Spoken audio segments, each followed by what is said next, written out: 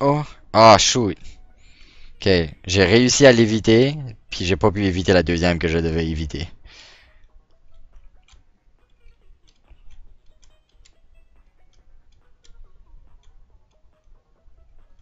C'est rough sur le cerveau, ceci. My god. Ceci, c'est pas du tout un niveau de précision ou de timing, c'est un niveau de perception. Yes!